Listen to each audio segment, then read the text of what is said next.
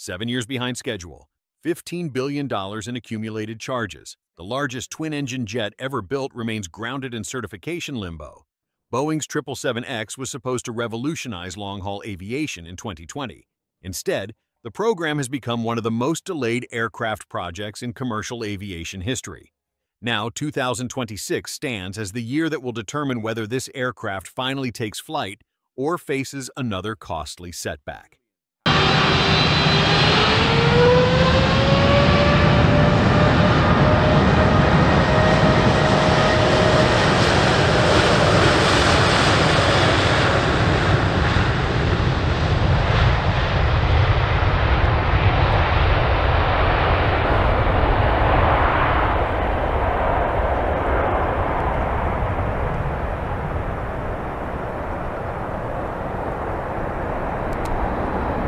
The Boeing 777X program launched in November 2013 at the Dubai Air Show with 259 orders and commitments worth $95 billion at list prices.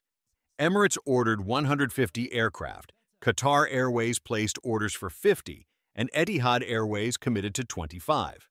Lufthansa had already signed on in September 2013 as the launch customer with an order for 34 779 aircraft. Boeing originally targeted entry into service for 2020. The 777X family consists of three variants. The 777-9 seats 426 passengers in a typical two-class configuration and has a range of 7,285 nautical miles. The 777-8 carries 395 passengers over 8,745 nautical miles. Boeing also developed the 777-8F freighter variant with a maximum structural payload of 118 tons. The 777-9 first flew on January 25, 2020. The aircraft features significant technological advancements over previous 777 models.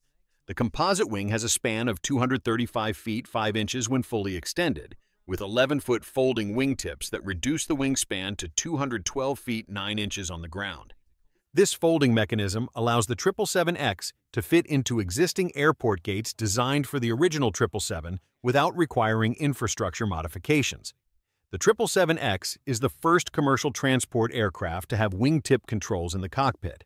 The GE9X engines powering the 777X are the largest commercial jet engines ever built. Each engine has a fan diameter of 134 inches and generates up to 105,000 pounds of thrust for commercial operations.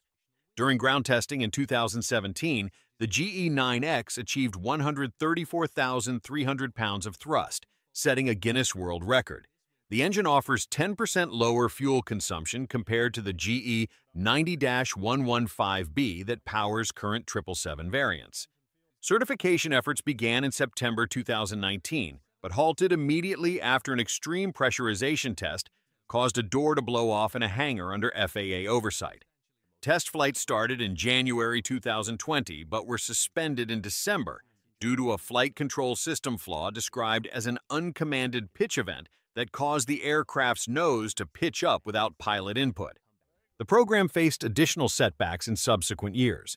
In November 2022, the GE9X engine on one of the four test 777-9 suffered a technical issue, pausing the test program. In August 2024, a routine inspection following a test flight in Hawaii revealed a structural link between the engine and wing was damaged. Cracks were found in the same component on other aircraft in the test fleet. Boeing grounded all 777X test aircraft while repairs were completed. By late August 2025, five test aircraft had accumulated 4,100 flight hours across extreme conditions, including heat testing in Arizona and cold weather testing in Alaska. Boeing has conducted over 4,000 flight test hours, more than twice the hours of a typical certification program. In October 2025, Boeing announced another delay, pushing first delivery to 2027 and recording a $4.9 billion pre-tax charge. This brought the program's total cost overruns to approximately $15 billion. The program operates in a reach forward loss position, meaning Boeing does not expect to recover its development costs across the first 500 aircraft built and sold. Boeing CEO Kelly Ortberg stated at the Morgan Stanley Laguna conference in September 2025, We're planning to get the certification done towards the end of this year or early next year so we can start the delivery. The FAA has intensified its certification oversight following the 737 MAX crashes. The 777X is currently in Phase 3 of Type Inspection Authorization, the most demanding phase where FAA pilots fly the aircraft to its aerodynamic limits. Recent brake tests in Oklahoma took 63 days, more than double the original forecast of 30 days. Despite the delays, airlines have maintained their orders. Emirates remains the largest 777X customer with 270 aircraft on order after adding 65 more 777-9s at the November 2025 Dubai Air Show. That order alone was worth $38 billion at list prices. The airline's total order book with Boeing now stands at 315 wide-body aircraft. Boeing confirmed Lufthansa as the launch customer in January 2025. The German carrier has 27 777X aircraft on order. Boeing has already built over 20 airframes that are sitting in storage awaiting certification. These aircraft will require modifications to meet the final certification standard before delivery. As of late 2025, Boeing reports 619 total 777X orders from more than 13 operators. The 777-9 has attracted 521 orders, the 777-8F has 63 orders, and the 777-8 has 35 orders. The three major Gulf carriers, Emirates, Qatar Airways, and Etihad, account for roughly one-third of all orders. The stakes for 2026 remain high. Aerospace Global News reported that Boeing heads into 2026 with its main focus being certification of the 737 MAX 7 MAX 10 and 777-9. Boeing CFO Jay Malave stated at the UBS Global Industrials and Transportation Conference in December 2025, for next year we absolutely expect to grow year over year in cash flow. And I would say that that will result in the low single digits billions in terms of positive free cash flow. The 777X holds advantages over competing aircraft. It offers seating capacity of 400 plus passengers compared to the Airbus A350-1000's approximately 350 to 400 passengers. Boeing claims the 777-9 will reduce fuel use and emissions by 20% compared to the aircraft it replaces. The wings generate improved lift-to-drag ratio, enabling up to 20% better fuel efficiency compared to the Boeing 777-300ER. Emirates has invested $4 billion in upgrading its existing Airbus A380 and older Boeing 777 aircraft to bridge the gap until 777X deliveries begin. The airline also expressed interest in a potential 777-10 stretch variant and signed options to convert its latest 777-9 orders into the 777-10 or 777-8.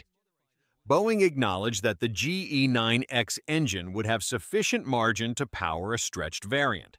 Flight tests were temporarily suspended again in November 2025 when a borescope inspection revealed an issue with a GE9X engine. GE Aerospace and Boeing are investigating whether this represents an isolated manufacturing defect or a design flaw. For Boeing, 2026 presents a straightforward mission complete the remaining certification requirements, and avoid any further delays that would push commercial service into 2028 or later. Boeing's stock just surged 2.7% in a single trading session. The catalyst was a $2.7 billion contract from the U.S. Pentagon. This wasn't just another deal. It was a signal that Boeing's defense division remains a critical financial engine, while the company's commercial aircraft business continues to face intense regulatory pressure and production limitations. The contract covers comprehensive support services for Apache helicopters. Boeing will provide maintenance, logistics, and technical assistance to ensure operational readiness for these attack helicopters. The Pentagon's commitment spans multiple years, offering Boeing a predictable revenue stream at a time when its commercial aviation segment struggles with safety audits and manufacturing caps imposed by federal regulators.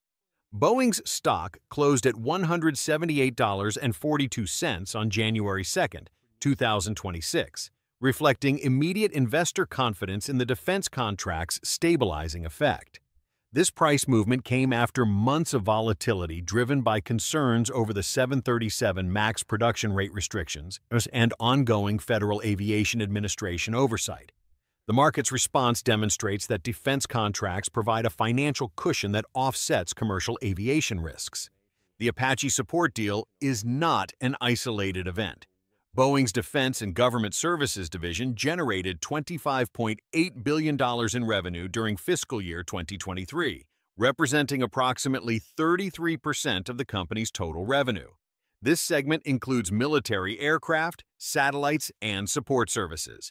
While commercial airplanes historically drove Boeing's growth, defense contracts now serve as a reliability anchor during periods of commercial turbulence.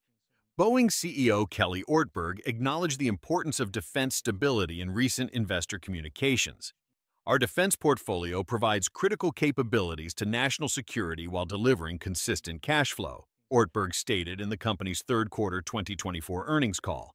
This statement reflects Boeing's strategic pivot toward balancing commercial recovery with defense reliability. The Pentagon contract arrives as Boeing faces continued scrutiny over its 737 MAX production.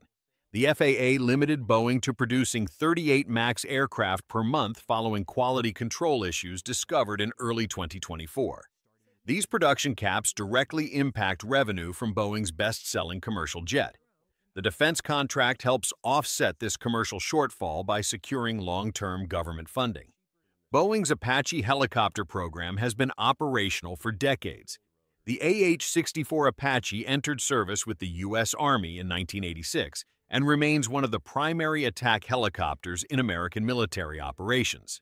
The U.S. military operates approximately 800 Apache helicopters across various configurations. This fleet requires ongoing maintenance, parts replacement, and technical upgrades, creating sustained demand for Boeing support services. The contract also has international implications.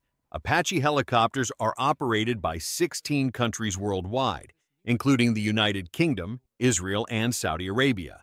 Boeing's support infrastructure for U.S. military Apaches positions the company to capture additional international maintenance contracts. This global footprint expands potential revenue beyond the initial $2.7 billion Pentagon agreement. Financial analysts view Boeing's defense contracts as essential to the company's near-term survival strategy. Credit rating agencies have noted that defense revenue provides stability that commercial aircraft sales cannot currently match. Moody's ratings maintained Boeing's credit outlook based partly on the strength of its defense backlog, which exceeded $60 billion as of September 2024. Boeing's defense division operates separately from its commercial aircraft programs but both segments share manufacturing facilities and engineering resources. This integrated structure allows Boeing to shift workforce capacity between defense and commercial projects based on demand fluctuations.